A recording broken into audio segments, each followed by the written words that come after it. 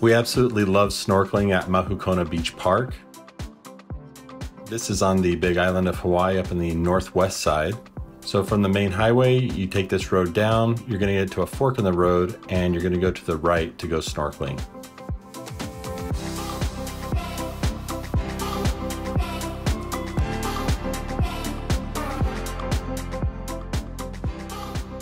There's a nice area with a ladder that you can get in to go snorkeling.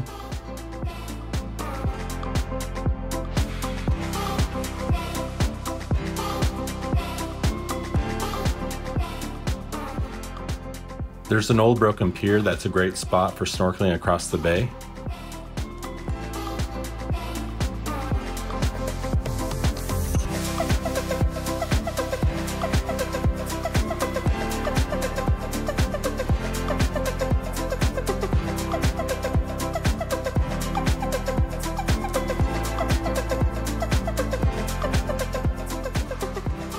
And then we decided to head over to the other side to see what was over there.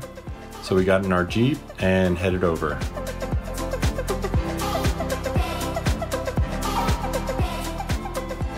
So this side is more for hanging out. There's picnic tables and just a great place to take in some amazing sunsets.